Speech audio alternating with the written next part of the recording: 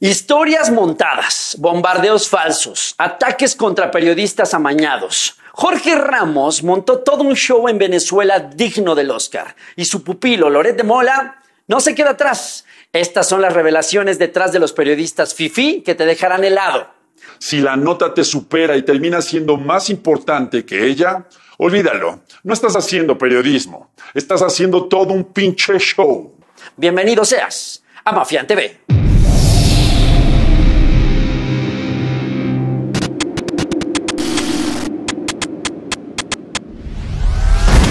Hace unas horas, el video de Jorge Ramos consternó a todo Latinoamérica, donde por medio de tremendo trabajo periodístico nos dio clases de cómo cagarla, provocar a Maduro para que a su vez hiciera algo en su contra, y sí lo hizo, deportándolo sin más ni más de Venezuela. Pero ¿qué hay detrás de este video?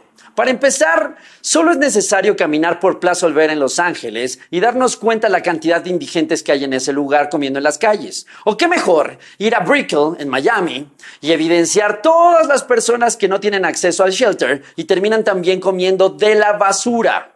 El problema de la pobreza no es propio de Venezuela. También existe en Estados Unidos y está en aumento.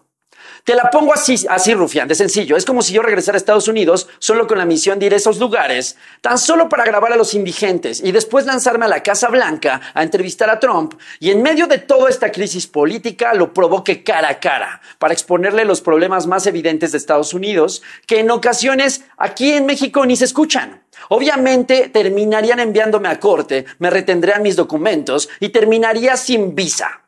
Créeme, los problemas de Estados Unidos son mucho más grandes e hirientes de lo que crees. Y todo lo que te vende la televisión, el Netflix, Disney World, Universal Studios, es nada a comparación de estar en ese lugar. Créemelo. Vivir en ese lugar es complicado y darte cuenta de esas carencias es aún peor. En verdad. ¿Sí o no rufianes latinos en Estados Unidos? Les pregunto de manera honesta, ¿cuántos indigentes y veteranos de la guerra nos podemos encontrar en las calles? ¿Cuántos? Lo que hizo Jorge Ramos no me parece, no me parece el mejor acto periodístico como tal. Y me deja en claro que existen más cosas detrás. Primero era un tipo anti-Trump y ahora fue usado como arma para desestabilizar al gobierno de Venezuela aún más de lo que está. ¿Qué pretende o qué ganará Jorge Ramos con esto? ¿Exposición? ¿Mejor puesto? ¿O ponerse las rodilleras en un gobierno que lo golpeó duramente en sus inicios? No me meteré en temas políticos que sean confusos y no logres entender. Habrá un momento para explicarte el tema de Venezuela en cuatro minutos sin desgastarte, pero considero que la acción de ese video fue demasiado tendenciosa, meterse a casa del enemigo para rascarle los huevos al sistema. ¿Y qué esperaba? ¿Que le aplaudieran su carrera solo por portar un gafete de Univisión? Perdón, ni aquí ni en China. Quería convertirse en el héroe nacional y yo en lo personal creo que terminó haciendo el ridículo. Un video donde mencionan que no hay comida y pasa detrás a alguien casi casi con una arepa e incluso una soda en mano. La oportunidad era buena, Jorge Ramos, pero sin meterse en temas políticos total.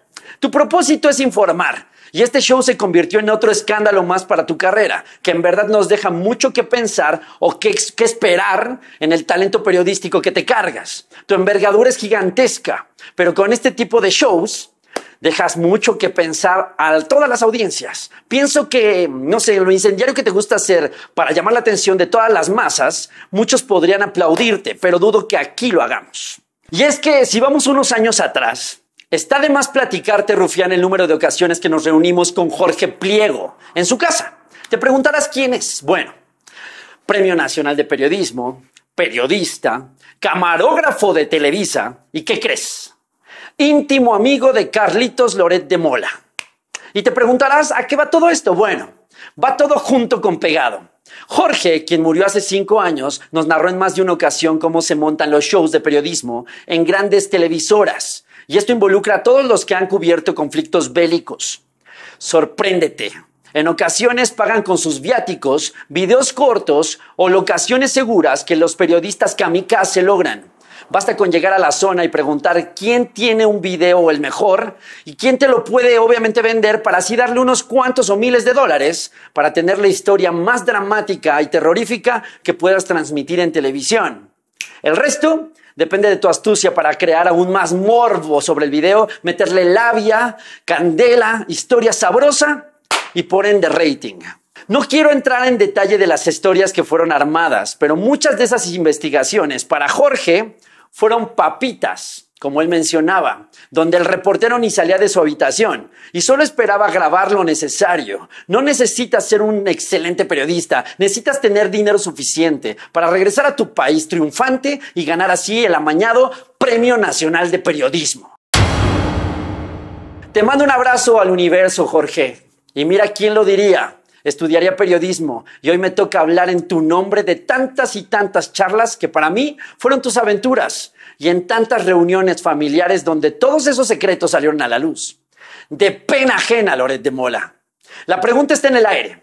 No, pienses en el tema político, reitero, ya habrá tiempo para hablar de Venezuela o incluso que yo viaje a Venezuela para documentar todo lo que sucede ahí. Ahora bien, presta atención. ¿Qué opinas del video de Jorge Ramos? ¿Crees en su contenido? ¿Piensas que todo fue un show mediático? ¿Qué piensas? Hermanos venezolanos, les prometo que pronto estaré por allá.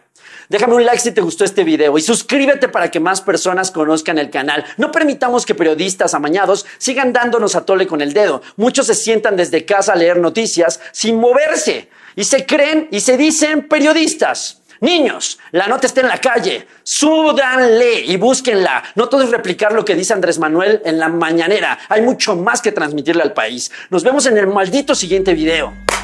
Aquí en Mafián TV.